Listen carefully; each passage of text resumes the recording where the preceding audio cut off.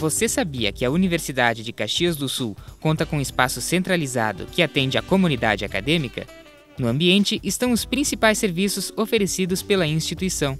Informações sobre financiamento estudantil, intercâmbios, solicitação de documentos acadêmicos ou até cancelamento de disciplinas podem ser realizados em um só lugar. A central de atendimento foi criada para unificar diversos serviços que são utilizados pelos alunos no seu dia a dia acadêmico. E nesse sentido, realmente a universidade fez um grande investimento para poder uh, colocar num único lugar, um único espaço, todos esses serviços, agregando conforto, infraestrutura que o nosso aluno merece.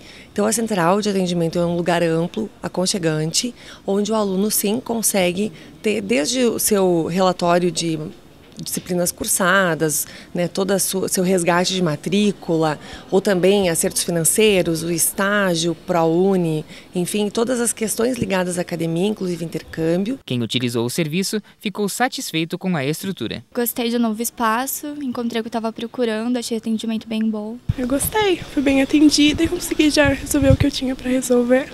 Fica tudo centralizado, né? A gente não precisa ir de um bloco para outro. Quando o protocolo era de um lado, a tesoureira do outro, agora é só vir aqui que tá tudo junto. A nova central de atendimento fica na sala 29 da Galeria Universitária e funciona de segunda a sexta-feira, das 8 da manhã às 9 e meia da noite, sem fechar ao meio-dia. Para mais informações, ligue 3218 2322 ou acesse o site ux.br.